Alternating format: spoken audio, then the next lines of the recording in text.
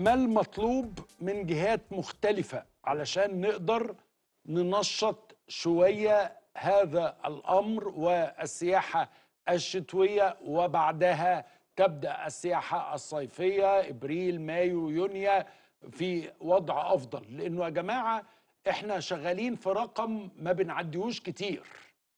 12 13 14 15 أنا بقول لك إنك في 2010 كنت قربت حتى من الأرقام ديت وتقريبا قربت من نفس الدخل. 14 اشرح لي الجدلية دي يعني. المشكلة إن إحنا عندنا يعني بعد السنين دي كلها. فعلا عند حضرتك حق يعني ما إحنا في 2010 جبنا 12 مليون 14.7 و14.7 في في في الدولارات ملي- مليار دولار. دخل. دخل السنة دي كانت هي أربعة- السنة اللي فاتت 14.9 لاين أعلى من 2001 مظبوط. فدي ال- الفكرة. فإحنا بننافس 2010 في واقع. الأمر. نفس انفسنا المشكلة إن يعني ال- بالتأكيد هو في يعني أنا في الفترة اللي فاتت فترة ال- من أول 25 يناير لغاية آه، ده تم الاستخدام السياسي في للسياحه من قبل الدول الغربية اللي هي بتعتبر السوق الأساسي بتاعنا. فتم الاستخدام السياسي لأول مرة كأن هو وسيلة ضغط علينا بالتالي ده أثر تماما تماما علينا في الفترة دي كلها فاحنا المفروض إن إحنا دلوقتي بدأنا في حالة مم، أفضل إحنا في حالة سياسية أفضل بكتير جدا طبعاً استقرار. وأمن وأمان. وكل حاجة وبالتالي الفكرة ديت إن إحنا عايزين نبني عليها نبني عليها إزاي؟ نبني عليها بقى إن إحنا ن... ن... يعني ال mix ال mixture بتاع الأسواق لازم نعمله إحنا عندنا الصين دلوقتي عندنا الهند عندنا الدول الأمريكية اللاتينية عندنا اللي هي الأسواق اللي دايما. بنقول إن إحنا ما, بن... ما بنفتحهاش. بتعمل عليها traffic. لا لا لا, بتبقى مهمة جدا اللي بيشتغل معاها دلوقتي ما أنا دلوقتي بشتغل مع الأسواق دي برضه. مش بشتغل مع الأسواق دي ليه؟ لأن الأسواق دي بدأت هي أحساسها بالأمن مختلف عن الباقيين. في استخدام سياسي زيهم. وبالتالي بدأ إن هم بدأت تعمل لك سوق بديل. أنا عندي شرق أوروبا ما عادش عندي مشكلة فيه. بالتالي بيجي لي منه أنا عادات طبعا مش العادات اللي هي بتجي لي طول السنة لأ ولكن عادات بتجي لي حتى ألبانيا مثلا ألبانيا دولة من ما يا الدول فندم أنا بس أنا عايز أقول حاجة. هو الروس والأوكران والحاجات اللي في العالم دي عليا وعلى كل الأسواق السياحية. حضرتك أنا لما بمشي في روما في الشارع. روسي في كل حتة. لا غير كده. عدد البشر اللي ماشي قدامي مئات بل آلافات بس يعني هي هو هي دي السياحة بقى. وهم اللي ماشي في روما ده رايح إيه؟ رايح يشوف ال Seven Steps والنافورة والبتاع. وأنا عندي الهرم هنا. يعني أنا برضو بحس بغيرة شديدة. لا هي دي بقى السياحة. الناس اللي أما تمشي في بريطانيا. اوكسفورد في شارع اوكسفورد هو في إيه؟ عدد البشر اللي ماشي قدامك ينقط.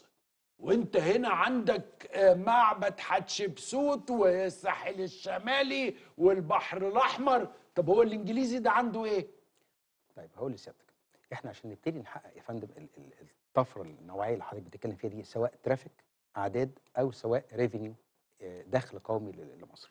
أنا النهارده لازم أبتدي النهارده أستعوض. النهارده عندك في 2024 دخل قناة السويس قل بنسبة حوالي من 40 ل 60% تحويلات المصريين في الخارج نفس الموضوع. التصدير إلى حد ما. فقد يكون الدخل القومي من السياحة المصرية يا أستاذ عمرو هو الأمل. هو الأمل قد يكون هو الدخل يعني لو مش الأول قد يكون الثاني السنة دي. فأنا شايف إحنا الدولة المصرية لازم تعتبر السياحة وده فعليا بجد على أرض الواقع لو إحنا فعلا عايزين سياحة وعايزين دخل تعتبر السياحة يا فندم مشروع قومي للدوله المصريه تتكاتف فيه مشروع فعلا طبعاً. كلمة إنه طبعاً. مشروع زيه زي قناة السويس طبعا يا فندم مشروع قومي تتكاتف فيه كل كل الوزارات المعنية والغير معنية بالدولة المصرية في خلال مثلا وليكن أنا عايز أقول إن خلال السنتين الجايين الشغل الشاغل لجمهورية مصر العربية يا فندم هو قطاع السياحة. قطاع السياحة ده لازم يتبوأ ال- المصدر الدخل لو مش الأول قد يكون الثاني وربنا يا رب يكرم بلدنا ويبقى دخل كل الثلاث الثلاث مصادر الدخل القومي ليها تبقى كلهم دخل أول. إنما أنا النهارده لو أنا فضلت كده يعني أنا بصراحة بضم صوتي آه، للصوت فعلا اللي بيقول إن لازم كل وزارة معنية يكون فيها حد ممثل لوزارة السياحة لأن النهارده وزاره السياحة هل تعلم سيادتك إن النهارده قطاع الفنادق لما بيجي النهارده يعمل أي حاجة قد يكون بيشتبك مع حوالي 28 جهة سيادية في الدولة فالنهارده المستثمر اللي بيجي سواء جاي من بره اف دي اي يعني استثمار مباشر من بره أو حتى مستثمر مصري من هنا داخلي لما يجي يتعامل مع كل الجهات الرسمية أو الجهات السيادية أو أو الكلام ده كله على قد ما هي أحيانا بتبقى معاونة ولكن الروتين اللي إحنا بنمر بيه دايما كمستثمرين قد يكون آه، يعني آه، الراجل اللي جاي من بره يعني بيقدم رجل وبيأخر رجل طب ما أنا النهارده أبتدي أشوف غيري بيعمل إيه في الاستثمار؟ أنا النهارده لما جيت النهارده السيد رئيس الوزراء لما جه أعلن النهارده رأس الحكمة اخذتها مثلا دولة الإمارات باستثمارات مباشرة حوالي 150 مليار دولار في خلال خمس سنين. ده معناه إن أنا يعني على أنا عندي كان استثمار مباشر جاي لي من بره آه، لمصر في خلال السنتين اللي فاتت كان بحوالي 15 مليار دولار. ده معناه إن 10 أضعاف الاستثمار المباشر اللي جه الجمهورية بالكامل جالي في خلال خمس سنين جايين في ضربة واحدة. ده معناه إن أنا النهارده آه، التارجت بتاعي في رأس الحكمة بس 8 مليون سائح على 2029 طب أنا 8 مليون سائح في منطقة صغيرة يعني, لا يعني الراجل يتعدى في الحتة ديت قرب من اللي أنت كنت بتعمله في البلد كلها. بالظبط. يعني أنا يعني فعلا أنا النهارده 8 مليون سياح لما يجوا لي ده ال target بتاعه. عايز أقول لك إن هو هيتحقق إن شاء الله. مش مش هيتحقق هيتحقق في منطقة بس صغيرة زي رأس الحكمة. أنا عندي منطقة جديدة إن شاء الله خلاص اللي هي بتتعرض دلوقتي اللي هي رأس بناس. عندي في في مرسى علم في جنوب البحر الأحمر. لما يبقى في عندك راس جميلة إن شاء الله في في شرم الشيخ. لما يبقى في أكتر من point وكل point من دول ال target بتاعي 8 10 مليون سائح لسه عندي بقى مرسى علم لسه عندي شرم لسه عندي القاهرة لسه عندي المتحف المصري أيوه الجديد. بس بس اللي حضرتك بتتكلم عليه ده لونج تيرم قوي.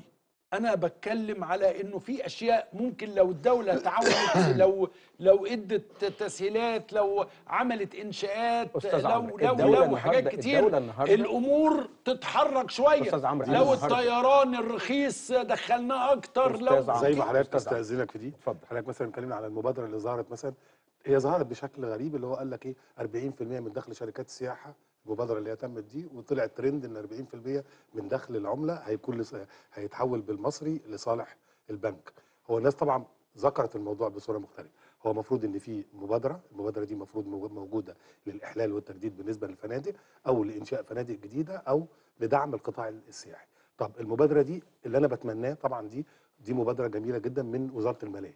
لكن الآلية بتاعتها إيه؟ هل المبادرة دي معمولة إن ياخدها الكبار ولا هي المفروض لل- للفنادق أو الناس اللي عايزة تبني حاجات صغيرة يبقى إحنا ما تبقاش رأسي تبقى افقي. اتمنى ان يكون الآلية بتاعتها اللي تنزل تكون مب... الآلية واضحة. اتنين المبادرات اللي تمت قبل كده كلها معظمها بنلاقي مشكلة في تطبيق الآلية بتاعتها.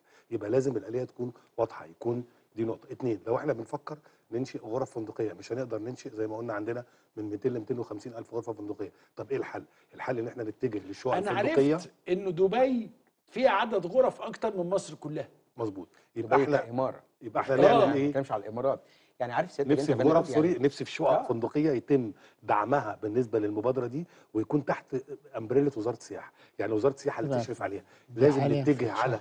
الغرف الشقق دي ده جداً. إن شاء الله. بي إن بي وبتاع والحاجات اللطيفة. النهارده يا فندم أنا النهارده 1280 فندق مرخص في جمهورية مصر العربية ولكن الطاقة الفندقية بتاعتهم لما باجي أتكلم عليهم يا أستاذ عمرو هم ال 200 أو 250 ألف غرفة فندقية. أنا النهارده لسه ال- الشقق الفندقية اللي حضرتك بتتكلم فيها أنا لازم أبتدي أدخلها جوه المنظومة السياحية.